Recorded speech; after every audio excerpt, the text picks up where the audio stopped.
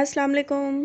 क्या हाल चाल है आप सबके? I hope everyone is fine तो जनाब, ये है हमारा वीकेंड का दूसरा दिन और हम लोगों ने बनाया आज मटन पुलाव। हमारे घर में ज़्यादा बिरयानी से ज़्यादा पुलाव पसंद किया जाता है। मेरे हस्बैंड को पुलाव ज़्यादा पसंद है। इस वजह से फिर ज़्यादा पुलाव ही बनता है। और मुझे तो पुलाव जो है वो फ़्रेश फ़्रेश खाने का मज़ा आता है। यानी कि जैसे ही बना हो तो फ़ौर ही सर्व हो और फिर खाया जाए। नेक्स्ट डे का पुलाव अच्छा लगता है, लेकिन उतना उतना मज़ेदार नहीं लगता जितने कि फ़्रेश पुलाव लगता है। और उसके साथ फिर मैंने थोड़ा सा सैलेड बनाया था एंड मिक्स वेजिटेबल का रायता बनाया एंड देन हमने लंच किया। और बस इसके अलावा मैंने बनाई हुई थी आलू की टिक्कियाँ और वो मैंने एक दिन पहले ही बना के उनको फ्रीज़ कर दिया था। अब उनको मैं मैं ऐसे बना के टिकियाँ तो उनको ट्रे में रख के पहले फ्रीज़ कर देती हूँ, फिर उसके बाद नेक्स्ट डे मैं उनको निकाल के किसी भी ज़िप लॉक बैग में डाल देती हूँ और जब फ्राई करने हों, टिकियों, टिकियाँ फ्राई करनी हो तो उनको निकाल के अंडे में या ब्रेड क्रम्स में डिप करके उनको फ्राई कर लेती हूँ। तो अभी बस मैं ये कर रही थी, इसके साथ ये आलू की टिकियाँ हैं, मैं शामियाँ भी बना लेती होती हूँ, जो चिकन की या मटन की शामियाँ बनती हैं, जिसके साथ वो एक रेसिपी अलग है। ये तो बहुत सिंपल होती हैं कि आलू बॉयल करो, उसके अंदर बस आप लोगों ने सारे स्पाइसेस डाले, हरा धनिया, हरी मिर्चें डाली एंड दैट्स इट लेकिन वो फिर जो मीट वाली शामियाँ होती हैं, उनको मीट के साथ और दाल के साथ जो चने की दाल होती है, उसमें प्रेशर कुकर प्रेशर कुक करके फिर उसका जो रिमेनिंग थोड़ा सा पानी होता है, वो सुखाना होता है दैन शामियाँ बना लेते हैं। शाम के वक्त हम लोग निकले थोड़ा सा बाहर, हमारी एक, मेरी एक फ्रेंड आई हुई थी शारजा से, फिर मैंने हम लोग, वो और बच्चे और हम लोग फिर बाहर निकले और इतना अच्छा इतना खूबसूरत वेदर हो रहा था, इतनी खूबसूरत हवा चल रही थी, बहुत ही ज़्यादा मज़ा आया। तो एक द, एक दिन पहले मैंने जे की वीडियो बनाई थी तो उसमें मैंने आपसे प्रॉमिस किया था कि मैं आपको सारा बताऊँगी कि हमारे जे में कितनी बिल्डिंग्स होती हैं और क्या वो सारा। तो आज मैं आपको ये दिखाती हूँ लेक भी ये आपको मैं दिखाऊँगी आज के यहाँ पर जितने भी क्लस्टर्स हैं in between the clusters lake बनी हुई है, बहुत ही खूबसूरत। और इस लेक का पानी जो है, वो बहुत ही खूबसूरत है, जिसकी वजह से इस एरिया में ब्यूटी है।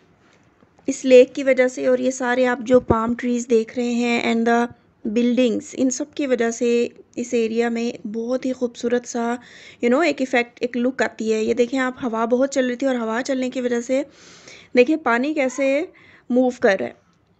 ये देखें आप इतना खूबसूरत माशाल्लाह से ये मंज़र था कि मैं रह नहीं सकी वीडियो बनाए बगैर और मैंने कुछ दिन कुछ देर के लिए यहाँ पे खड़े होके वीडियो शूट की।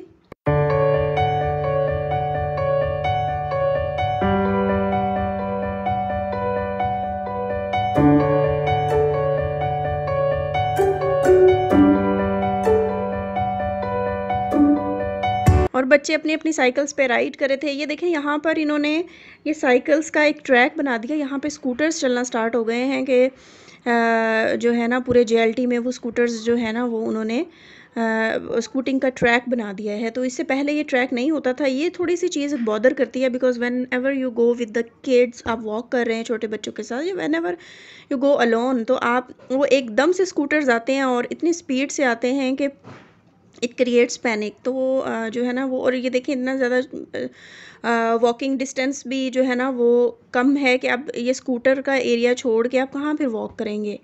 लेकिन वो स्कूटर्स वाले भी जो इतना तेज़ी से आते हैं तो आई थिंक ये स्कूटर्स वाला जो है ना सिस्टम ये सारा बंद होना चाहिए। यहाँ पे ओनली बच्चों का साइकिलिंग के लिए भी कुछ ना कुछ छोड़ना चाहिए इनको। ओके okay जी, यहाँ पर ये देखें, ये सारा मैप है, जो मेरा लेक टावर्स का, और आप इस मैप में देखें कि ये देखें ये सेंटर में सारी लेक आपको नज़र आ रही होगी और जो इर्द गिर्द हैं, ये सारे आपको नज़र आ रही है। ये हर क्लस्टर की थ्री बिल्डिंग्स हैं और हर क्लस्टर के अंदर मैंने जैसे आपको पहले भी बताया था कि थ्री थ्री बिल्डिंग्स हैं और साथ एक सुपरमार्केट होती है और उसके नीचे वाली साइड पे जो होता है ग्राउंड फ्लोर पे वो होती हैं रेस्टोरेंट्स ये देखें, ये हर बिल्डिंग में आपको, हर क्लस्टर में सॉरी आपको थ्री बिल्डिंग्स नज़र आएँगी। और ये वाला जो मैप है, इन लोगों ने ये बनाया हुआ है क्योंकि जिस तरह टूरिस्ट आते हैं या कोई बाहर से नया बंदा आता है, उसको नहीं पता चलता कि किस साइड पे जाना है, ठीक है? क्योंकि इनका सबका जो कंस्ट्रक्शन का जो एक मैप है ना, वो सारे क्लस्टर्स का सेम है। तो इस वजह से इंसान समटाइम्स कन्फ्यूज़ जब मैं भी नई नई आई थी तो मैं भी कंफ्यूज हो जाती थी कि यार ये क्या, मुझे समझ नहीं आ रही कि ये क्लस्टर कौन सा है मतलब वंस मैं और रियान तो एक दफ़ा हम लॉस्ट भी हो गए थे हम लोग ऐसे वॉक के लिए निकले थे। एंड देन uh, मैं अपने क्लस्टर को समझ के मैं किसी दूसरे क्लस्टर में चली गई थी।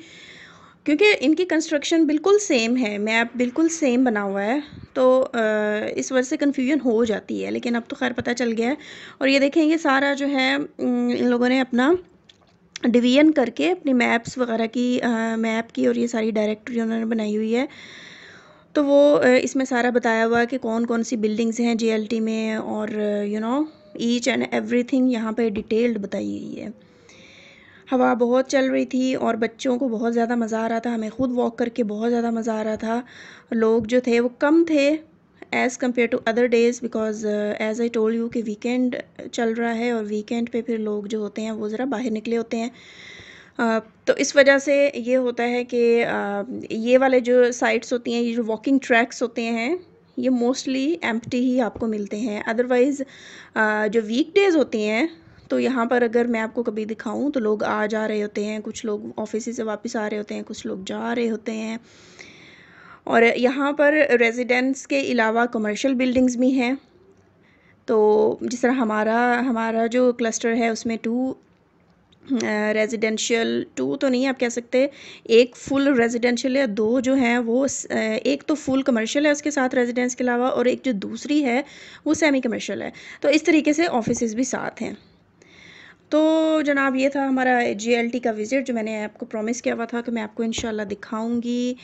और शाम का बस ये था कि खाना वाना बाहर से ऑर्डर हो गया और इस तरह से हमारा दिन जो है वो ख़त्म हुआ। आप लोग ज़रूर मेरी वीडियो को शेयर करें और मेरे चैनल को लाइक चैनल को सब्सक्राइब करें और मेरी वीडियो को हमेशा लाइक किया करें। मुझे कमेंट्स बहुत कम आप लोगों के आ, मिलते हैं। आप प्लीज़ कमेंट्स भी किया करें और जितना हो सके आप मेरी वीडियो को शेयर किया करें बिकॉज़ आप लोगों की सपोर्ट जो है वो हमारे लिए बहुत ज़्यादा मैटर करती है। तो जो भी आप में से वीडियो मेरी देख रहा है, इस इस वीडियो पे आपने कमेंट किए बगैर नहीं जाना। अल्लाह ताला आप सबको खुश रखे अपने अपने घरों में और हर किसी को अल्लाह ताला जहनी, जिस्मानी सुकून अता फ़रमाए। वीडियो पे आपने लाइक ज़रूर करना है। टिल नेक्स्ट वीडियो अल्लाह हाफिज़।